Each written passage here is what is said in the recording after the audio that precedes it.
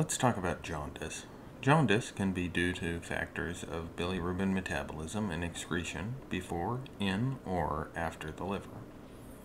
The mnemonic for this is hot liver for hemolysis, obstruction, tumor, and liver disease. Prehepatic jaundice leads to an indirect hyperbilirubinemia because this bilirubin is not yet conjugated.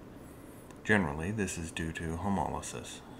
Common causes of hemolysis include glucose 6-phosphate dehydrogenase deficiency, sickle cell anemia, spherocytosis, hemolysis of the newborn, transfusion reactions, alpha and beta thalassemia, reabsorption of extravasated blood, such as in a hematoma or internal hemorrhage in a patient who has had some sort of trauma or uh, surgical trauma.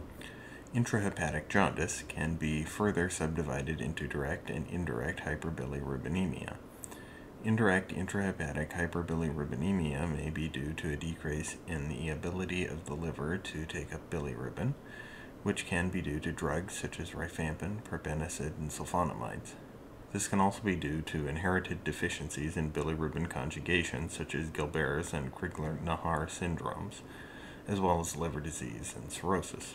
Direct intrahepatic hyperbilirubinemia may be due to diseases that allow bilirubin to be conjugated but not excreted, such as intrahepatic cholestasis secondary to cholestasis of pregnancy, caused by high progesterone levels.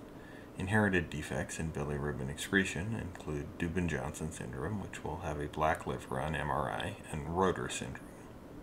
Liver disease can lead to indirect, direct, or a mixed hyperbilirubinemia and can be caused by many things, including viral and autoimmune hepatitis, alcoholic cirrhosis, Wilson disease, which will have the characteristic Kayser-Fleischer rings, and many more.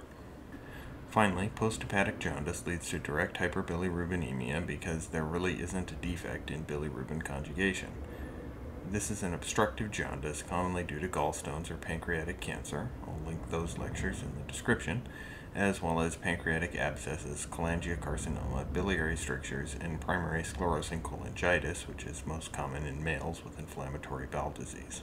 Thanks for watching. Please like, comment, share, subscribe, and hit the notification bell for more great videos. Remember, if you don't want to miss it, look below and click it.